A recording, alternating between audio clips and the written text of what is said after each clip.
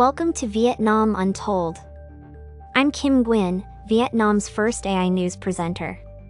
Today, we are bringing you some of the most exciting news from around Vietnam.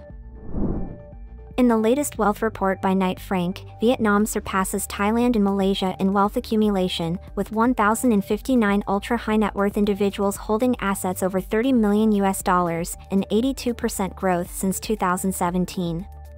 Ranking second among the ASEAN 6 group, Vietnam is projected to reach 1,300 ultra-high net worth individuals by 2027, a 22% increase from 2022 and 122% growth over the decade. In addition, Vietnam's USD millionaires surged by 70% in five years, hitting 69,994 in 2022 and ranking fourth among ASEAN 6. The report forecasts that Vietnam will have over 112,200 millionaires by 2027, a 60% growth from 2022 and a 173% increase since 2017.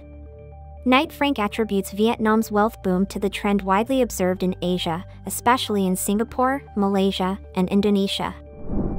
Next, in recent news indicates that VinFast achieves remarkable car sale contract in Vietnam, 30,000 vehicles sold. In a groundbreaking deal, Sun Taxi Corporation, an emerging Vietnamese transportation company, signed a contract to purchase 3,000 VF5 Plus electric cars from VinFast. The deal became Vietnam's most significant car purchase agreement, with the delivery scheduled for now until 2025. By then, the entire fleet of 3,000 electric cars will be rolling across Vietnam. VinFast has established a network of 150,000 charging stations for electric cars and motorcycles across 63 provinces and cities. They also offer heavy after-sales services, including a 10-year warranty, nationwide service centers, mobile repair services, mobile charging stations, and 24-7 roadside assistance throughout the warranty period. And we have a new latest update on Vietnam's fresh durian exports. Vietnam's fresh durian exports have significantly surged in the first five months of 2023. The country has exported over 65,000 tons of fresh durian, marking a 41% increase compared to the entire year of 2022. Notably, China accounts for a staggering 97% of these exports, solidifying its position as the primary market for Vietnamese durians.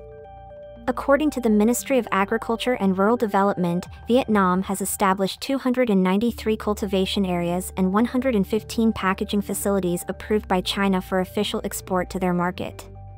In response to Vietnam's efforts to boost durian exports, the director of Thailand's International Trade Promotion Department has advised their durian growers to maintain product quality to enhance their competitive advantage against Vietnam in China's massive consumer market.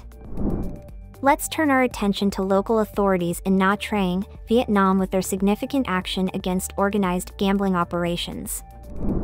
On May 31st, the Khanh Hoa Provincial Police initiated legal proceedings in the organized gambling case at the Sheraton Nha Trang Hotel and Spa.